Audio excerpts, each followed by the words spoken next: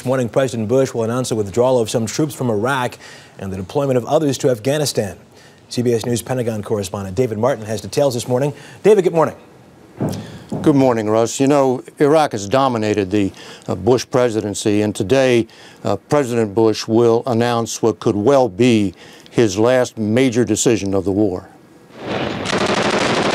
Acting on recommendations made by Defense Secretary Gates, the president will announce the withdrawal of 8,000 troops from Iraq by next February. A battalion of 1,500 Marines will come out of western Iraq in November and an Army brigade of 3,500 soldiers will be withdrawn in February, along with 3,400 support troops.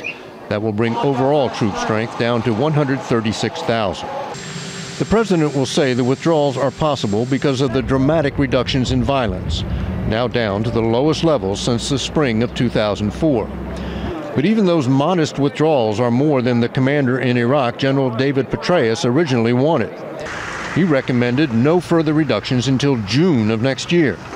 But he was overruled because of the pressing need to free up more troops for Afghanistan. The president will announce he is sending 5,000 more combat troops to Afghanistan, a Marine battalion in November, and an Army combat brigade next January. But that is only a fraction of what the commander there says he needs. President Bush will say it may be possible to withdraw more troops in the first half of 2009, but that will be a decision for the next president. Russ? David Martin at the Pentagon, thank you very much.